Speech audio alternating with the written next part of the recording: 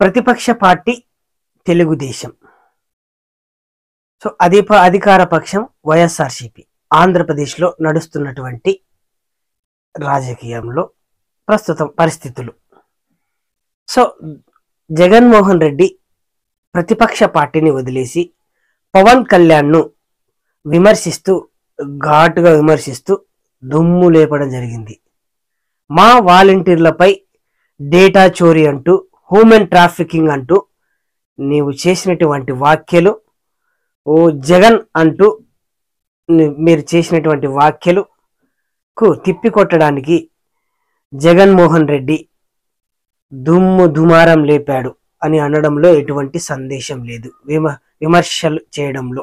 అది ఎటువంటి విమర్శలైనా కానీ విమర్శలు చేయడంలో దుమ్ము దుమారం లేపడం ఒక ఇంత ఒక వాస్తవం ఒక పరిస్థితిగా ఏర్పడింది. సో ఇది పది పదేళ్ళ నుండి జగన్మోహన్ రెడ్డి పదేళ్ళ నుంచి పార్టీ పెట్టినటువంటి పవన్ కళ్యాణ్ గారు చంద్రబాబు యొక్క వాలంటీర్గా పనిచేస్తా ఉన్నారు. ఈ వాలంటీరు మా వాలంటీర్లను ఈ విధంగా అంటాడా అని చెప్పి వాలంటీర్గా అభివర్ణించడం జరిగింది జగన్మోహన్ రెడ్డి.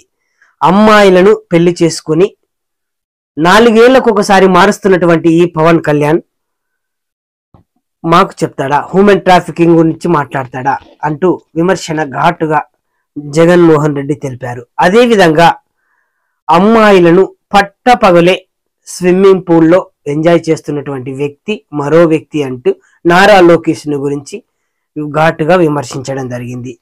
దానితో ఊరుకోకుండా బాలకృష్ణ గురించి కూడా అమ్మాయిలు కలిసొస్తే అమ్మాయిలు వస్తే కనిపిస్తే ముద్దన్న పెట్టాలి లేదా కడపన్న చేయాలని ఆహా ఓ టీవీ ఛానల్లో అనడం కంటే కూడా ఆహా టీవీ టీవీ టీవీ ఛానల్లో ప్రత్యేక ఇంటర్వ్యూలో బాలకృష్ణ అటువంటి మాటలను ఘాటుగా మళ్ళీ తెరపైకి తెస్తూ ఘాటుగా విమర్శించారు బాలకృష్ణ గురించి.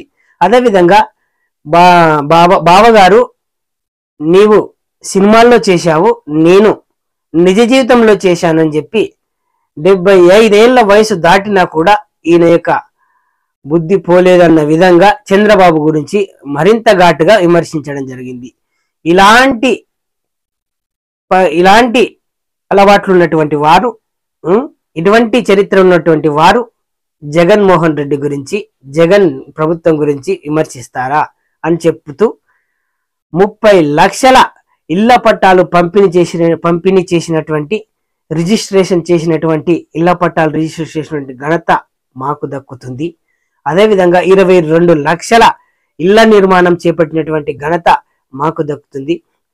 మీ స్క్రిప్టును స్క్రిప్టు నిర్మాత అంతా కూడా చంద్రబాబు నాయుడు గారైతే దాన్ని దాన్ని అవలంబించేది మాత్రం దత్తపుత్రుడు అయినటువంటి పవన్ కళ్యాణ్. నటన మాటలు డైలాగులు అన్నీ కూడా దత్తపుత్రుడివే అంటూ ఘాటుగా విమర్శించారు.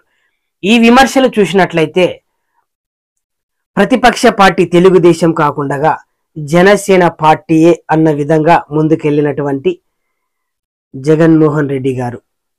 సో ప్రస్తుత పరిస్థితులు తెలుగుదేశం కాదు జనసేననే మన ప్రత్యర్థి అన్న విధంగా ఘాటైన విమర్శలు ముందుకొచ్చాయి. ఎందుకంటే వారాహి మొదటి యాత్ర రెండవ యాత్ర ఈ రెండు యాత్రలలో ఆయన చేసినటువంటి పవన్ కళ్యాణ్ గారు చేసినటువంటి విమర్శలు తారస్థాయికి చేరాయి. ఆ వాలంటీర్లపై చేసినటువంటి విమర్శలు డేటా చోరీపై చేసినటువంటి వ్యాఖ్యలు చాలా ఘాటుగా ఘాటైన వ్యాఖ్యలుగా దే- రాష్ట్ర వ్యాప్తంగా విమర్శలు చేశారు. అదేవిధంగా ఢిల్లీ వేదిక చేసుకొని కూడా మరొక మారు విమర్శించడం జరిగింది. ఈ విధంగా చేయడం వలన జగన్మోహన్ రెడ్డి గారి ప్రభుత్వము పదహారు జీవోలు కూడా ముందుకు తెచ్చి పవన్ కళ్యాణ్ పై కేసులు పెడతామని చెప్పి ముందుకు రావడం జరిగింది. సో దీన్ని బట్టి చూస్తుంటే తెలుగుదేశం కాదు జనసేననే ప్రతిపక్ష పార్టీ అన్న విధంగా జగన్మోహన్ రెడ్డి గారి విమర్శించడం జరిగింది. ఇంతకు ముందు అయితే జగన్మోహన్ రెడ్డి డైరెక్ట్గా విమర్శల్లోకి దిగకుండా తన దూతలైనటువంటి వారిని ఎమ్మెల్యేలను ఎంపీలను ఈ యొక్క మంత్రులను తీసుకొచ్చి విమర్శించేవారు. ఇప్పుడు నేరుగా డైరెక్ట్గా ఘాటైన విమర్శలు చేయడం పట్ల ఒకంత జనసేనకే ప్లస్ అన్నట్టుగా కనపడుతుంది. మీరు వ్యక్తిగతంగా వాలంటీర్లను వ్యక్తిగత వాలంటీర్లు ఇంత దుమారం రేపు విమర్శించడం వలన నేను కూడా మీలో ఉన్నటువంటి ఆ యొక్క అలవాట్లను అన్నిటినీ మీ యొక్క చరిత్రను బయటికి తీస్తా అని చెప్పి ఘాటైన విమర్శలు చేసిన సందర్భం ఇది. చూద్దాం మున్ముందు ఏం జరగబోతుందో. ఎందుకంటే ఎలక్షన్లు ఇంకా తొమ్మిది నెలలు ఉండగానే ఆంధ్రప్రదేశ్లో రాజకీయ వేడి రసవత్తరాన్ని రేపిందనడంలో ఎటువంటి సందేహం లేదు. ఏది ఏమైనప్పటికీ ఇంకా ఈ విమర్శలకు ప్రతి విమర్శలు ఎలాంటి రాబోతున్నాయో చూడాల్సిన పరిస్థితి ఉంది. మీ అభిప్రాయాన్ని కామెంట్ రూపంలో తెలపండి. మా ఛానల్ను సబ్స్క్రైబ్ చేసుకోండి. Thank you. Thank you very much.